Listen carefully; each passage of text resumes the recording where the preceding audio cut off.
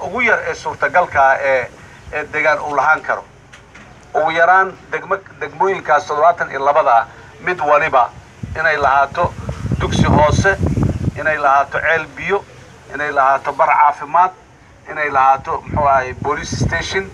iyo inay lahaato gurigii maamulka degaankaas oo maxkamadihii iyo dawladdii hoose iyo wixii oo dhan ay ku shaqeeyaan mashaariicdaasi degmooyinka in badan oo ka mida waa ka dhaqan galeen way ka jiraan kuwana waa waa u dhiman yihiin welioo waa waa waa laga hagaajinaya waxaa loo samaynayay mashaariicdaas ama loo hindisay ama caalamkaan ula hoos cararay waxay ahayday dadkaani ilaahay idankiis marka ay soo noqdaan in ay waxa ugu yaray suurtagal ah ee nolosha bini aadamka ay u baahan tahay inay ku helaan meeshaas oo ay ku haystaan. Marka dareenka baahida shacabkan ay qabaan oo ay u baahan yihiin nolol iyo adeeg bulsho.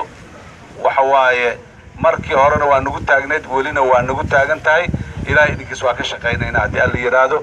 waxaan rabaa markaa inaad kalsooni badan niyad samaan badan deganaanshiyo badan inaad ku joogtaan halkan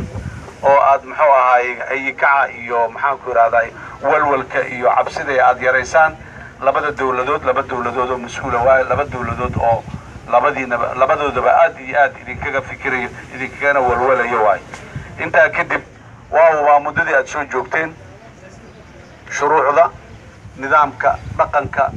oo dalkan leeyahay waajibay idinku ahayd inaad ilaalidaan in badan oo ka mid a waad ilaalideen haddana weli mar kalean ku sii ku sii dardaarmayna. In dalkaani shuruucdiisa iyo nidaamkiisa iyo dhaqankiisa iyo taqaaliidda shacabkiisu ay leeyihiin in aad iyo aad loo ilaaliyo.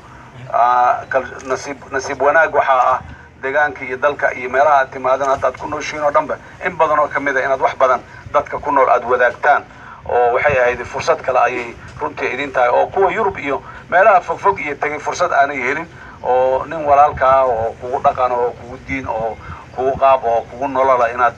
wad la noolaatid fursad aad iyo aad u weynay ahayd. Marka waxaan rabaa mar kale inaan anoo ku hadlaya magaca dawladda soomaaliya guud ahaan